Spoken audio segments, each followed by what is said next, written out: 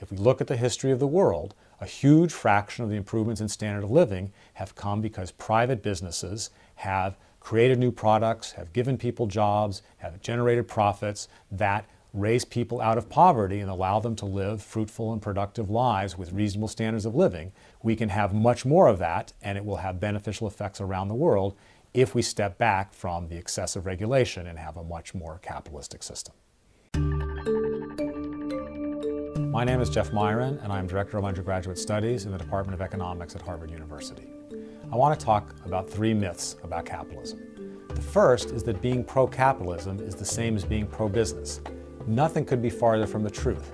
The point of capitalism is to make sure that businesses have to compete vigorously against each other, and that benefits consumers. It's not good for the businesses per se because they have to work really hard. So many businesses understand this and they hate capitalism. They're constantly trying to get government to erect various rules, restrictions, regulations uh, that help them, but they're not in the interest of the consumers. So pro capitalism is good for consumers. That's whom we're ultimately trying to help.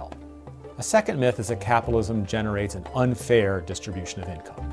What true capitalism does is rewards people who are productive, people who work a lot of hours, people who have a lot of talent, people who come up with good ideas, they get big rewards under capitalism, and people who don't do those sorts of things get less.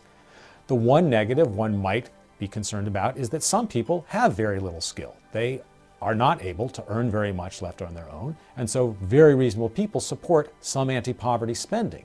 But that's completely different than interfering with capitalism, regulating prices, limiting quantities, imposing all sorts of things on businesses. Those make the economy less productive, give us a smaller pie, and make it even harder for us to operate programs which help that help those who are less fortunate and because they were unlucky. The third myth is that capitalism was responsible for the recent financial crisis and the recession. That again is almost exactly the opposite of what is true. First of all, nobody who's being intellectually honest thinks that we had unbridled serious capitalism before the crisis hit, before the subprime buildup occurred, before we had all of the housing problems. We had enormous government interventions that subsidized risk, enormous government interventions that encouraged an overinvestment in housing. If one's going to try to draw any conclusions, it seems to suggest much more clearly that interfering with capitalism generates financial crises, generates recessions, because what we experienced was directly related to the incentives for excessive risk taking, the incentives for overinvestment in housing that were created by government. The private sector responded to those incentives, so of course, the private sector can't be completely absolved of being involved, but in the sense of causing, it was the bad policies that caused it, not what the private sector or capitalism did on its own. Most importantly, whenever government bail out people who took excessive risk, they encourage people to do more of that in the future.